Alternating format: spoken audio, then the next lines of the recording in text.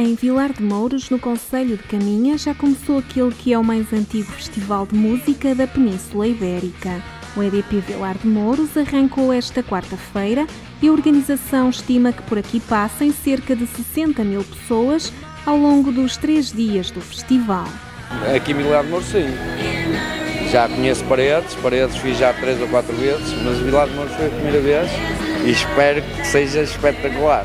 Pues pasándolo muy bien. Creemos que es un festival eh, que está hecho en un ambiente muy bueno, nos parece idílico y, y, creo que va a estar muy bien. Nos lo vamos a pasar muy bien. O histórico festival atravessa gerações e reúne público de todas as idades. Venimos a ver a Placebo. Es, hacemos un viaje de 15 días por Portugal y terminamos aquí viendo a Placebo. Hemos organizado el viaje solamente por, por el festival. De Lisboa, sou de Lisboa e vim de propósito para ver.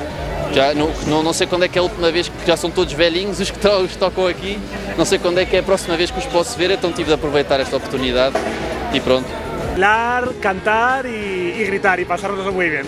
La verdad que estamos encantados porque es un festival que no lo conocíamos y, y nos ha sorprendido increíblemente. El entorno y todo, así que a bailar y a gritar recinto y el espacio está fenomenal. Hay de todo, está muy bien organizado, es un entorno maravilloso y nos encanta.